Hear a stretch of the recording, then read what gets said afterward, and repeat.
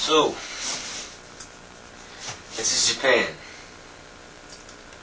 Uh, maybe this uh, wasn't what you expected, but uh, Japan wasn't what I expected either. Um, I could have showed you uh, what we do at work, the uh, the teaching. That's pretty boring though. You probably wouldn't like that. Mm, my feelings of Japan can best be summed up in the, uh, the words of Albert Camus, French philosopher. And Camus has these words for us.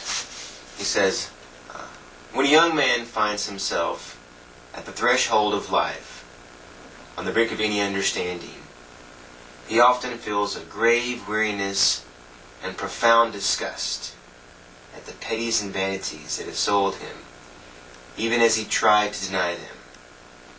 An instinctive aversion rises in him. His pride revolts at everyday life, which grows even more humiliating. He doubts.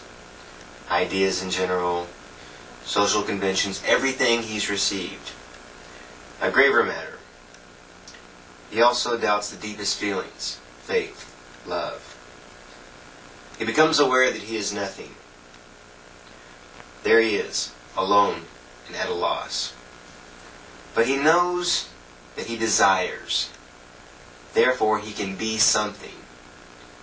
He must at all costs define his potentialities. And besides, he knows the vanity of what I can call metaphysical free thinking. From the harsh contact with inexperience, he thus learns that his freedom lies in his gift, and that to obtain independence is to choose his dependency. His drama he must choose. It is God, or art, or himself. What does it matter? Albert Camus.